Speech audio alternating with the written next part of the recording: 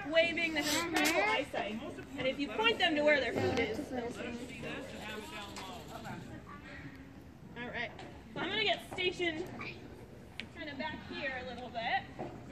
I'll definitely give you play-by-play. So these guys' parents are out of non-exhibit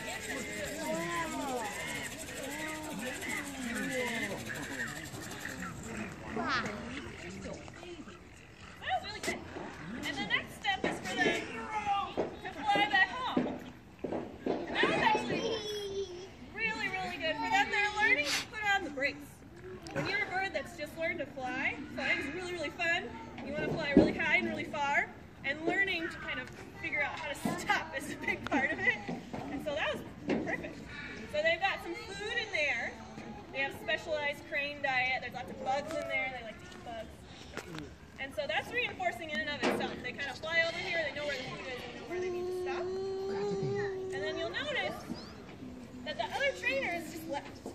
So this is part of the training, but it's up to them when they're out of food to kind of look around, figure out where they're supposed to go, and remember, oh, okay, I have to go back. It's fucking mistake. That's where the rest of the food is. He is in the bowl, Monique. You're right. Now, if you go see their mm. parents, their parents are probably about twice as big as they are. They've got a lot more of those pretty white flight feathers in. Oh, oh it is nice. Started wandering towards the front of the stage, so I interrupted them slightly.